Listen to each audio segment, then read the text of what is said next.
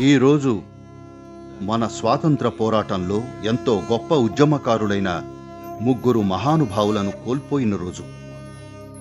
Lahore central జైల్లో వీరిని ఉరితీశారు. భగత్ సింగ్ సుఖదేవ్ తాపర్లకు ఇరవై మూడేళ్ళు మాత్రమే. ఇక శివరాం రాజుగురుకైతే ఇరవై రెండేళ్ళు.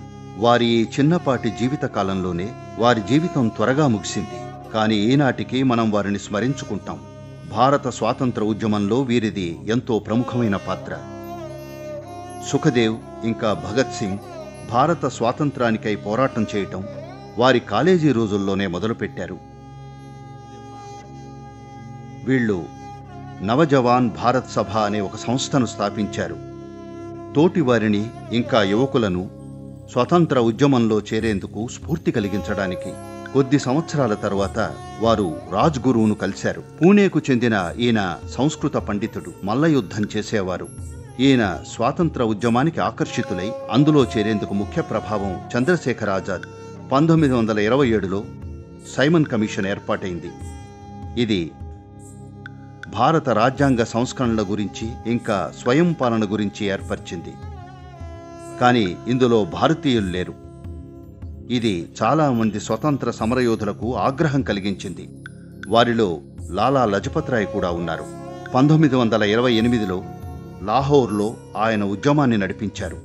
లాలా లజపత్ రాయ్ను ముట్టడించి superintendent of police James Scott ఆయన్ను కొట్టారు. ఇలా ఘోరంగా దెబ్బతినడం వల్ల ఆయన కొద్ది రోజుల్లోనే మరణించారు. ఈ ఉద్యమం ఒక పెద్ద మలుపుగా మారి ఎందరో యువకులు లాలా మరణానికి ఎందరో మరణానికి ప్రతీకారం తీర్చుకోవాలనుకున్నారు. అందువల్ల వారు లాలాను చనిపోయేలా కొట్టిన జేమ్స్ కాట్ను చంపేందుకు పథకం వేశారు. భగత్ సింగ్ చంద్రశేఖర్ ఆజాద్ సుఖదేవ్ ఇంకా రాజ్గురు వీళ్ళు కలిసి అసిస్టెంట్ సూపరింటెండెంట్ అయిన జాన్ శాండర్స్ను చంపారు. దీంతో పోలీసులు వీరి కోసం బాగా గాలించడం మొదలుపెట్టారు. కానీ వాళ్ళు ఎలాగో తప్పించుకున్నారు. పోలీసులు వాళ్ళను ఎలా అయినా పట్టుకుని అరెస్టు చేయాలని గట్టిగా వెతుకుతున్నా గాని ఈ స్వతంత్ర యోధులు దాక్కోవాలని గాని స్వతంత్ర ఉద్యమం నుండి తప్పుకోవాలని గాని అనుకోలేదు.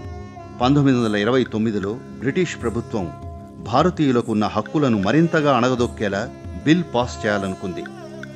అందుకని వీరు ఢిల్లీలో ఉన్న కేంద్ర శాసనసభపై బాంబు దాడి చేయాలనుకున్నారు. ఈ పొగబాంబు దాడి ఉద్దేశం ఎవరినో చంపాలని కాదు. ఇలా చేస్తే వారి గోడు వింటారని తోటి భారతీయులను మేల్కొనేలా చేసి వారిని ప్రభావితులను చేయాలని. భగత్ సింగ్ ఇంకా బతుకేశ్వర్ దత్ ఈ బాంబులు వేశారు. వారు అక్కడ జరిగిన గందరగోళంలో తేలిగ్గా తప్పించుకోగలరు. కానీ వారు అక్కడే నుంచుని ఇంక్విలాబ్ జిందాబాద్ అని అరవడం మొదలుపెట్టారు. అంటే ఈ ఉద్యమం వర్ధిల్లాలి అని అర్థం. అంటే వాళ్ళను హతమారుస్తారని పూర్తిగా తెలిసే వారు ఈ పనిచేశారు లాహోర్లోని వారి బాంబు ఫ్యాక్టరీని కనిపెట్టినప్పుడు సుఖదేవ్ రాజ్గురు ఇద్దరిని అరెస్ట్ చేశారు.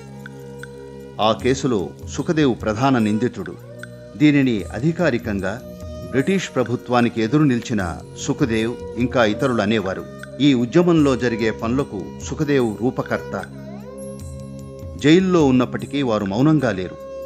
కేసు విచారణలో ఉన్నప్పుడు భగత్ సింగ్ ఇంకా ఆయన స్నేహితులు ఎంతో ప్రఖ్యాతిగాంచిన జైలు నిరాహార దీక్ష మొదలుపెట్టారు. ఇది జైల్లో ఉన్న బ్రిటిష్ వారికి ఇంకా భారతీయులకు మధ్య చూపిస్తున్న వివక్ష గురించి వేశారు. ఉద్యమకారులను రాజకీయ నిందితులుగా చూడాలన్న డిమాండ్తో వాళ్ళు నిరవధిక నిరాహార దీక్ష చేశారు. కాలక్రమేణా బ్రిటిష్ వారు ఆ డిమాండ్లలో కొన్నింటిని ఒప్పుకున్నారు. ఈ స్ట్రైక్ సెప్టెంబర్లో పూర్తయింది. కానీ భగత్ సింగ్ ఇంతటితో తృప్తిపడలేదు అయినా భారతీయ నిందితులను రాజకీయ నిందితులుగా చూడాలని పట్టుపట్టారు ఆయన నూట పదహారు రోజుల తర్వాతే ఈ దీక్షను విరమించారు. భగత్ సింగ్ తండ్రి విన్నపాన్ని మన్నించి చేసిన పని ఇది.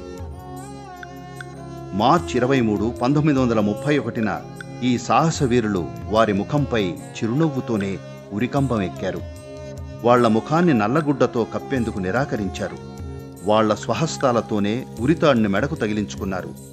భగత్ సింగ్ సుఖదేవ్ ఇంకా రాజ్గురుకు ఉరిశిక్ష రద్దు చేయడానికి మహాత్మా గాంధీ ప్రయత్నం చేశారు. ఉరిశిక్ష అమలు అయ్యే ముందే సుఖదేవ్ గాంధీజీకి ఒక లేఖ రాశారు. ఆయన ఏం రాశారంటే భారతదేశానికి ఎక్కువ మేలు జరిగేది మమ్మల్ని ఉరితీసినప్పుడే కాని మాకు ఆ శిక్ష రద్దు చేసినప్పుడు కాదు అని రాశారు.